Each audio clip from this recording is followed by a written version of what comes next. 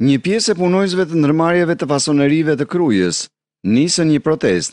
Qëllimi i tyre është paga e luftës vendosur nga qeveria për institucionet shtetërore dhe private në gjendjen e fatkeqësisë natyrore.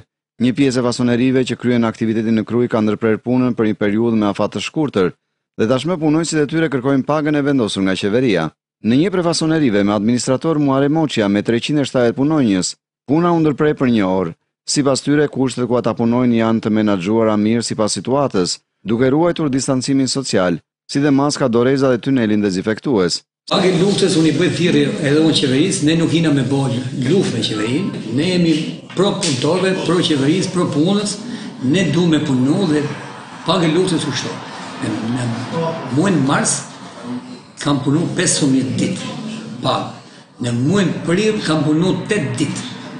Të llogaritë unë nuk mund të jap paga pa punuar.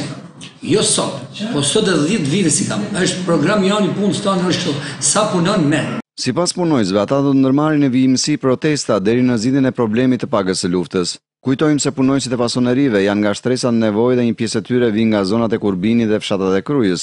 Kruja është në hartën e kuqe të prekjes nga Covid nëntëmbëdhjetë duke sjellë një problematikë për banorët e kësaj zone dhe rreziku i kësaj pandemie është shfaqur pikërisht nga fasoneritë, të cilat prodhojnë një kontingjent të madh të prekurish. Sipas punonjësve kjo fasoneri ku ata protestuan nuk ka të prekur nga virusi.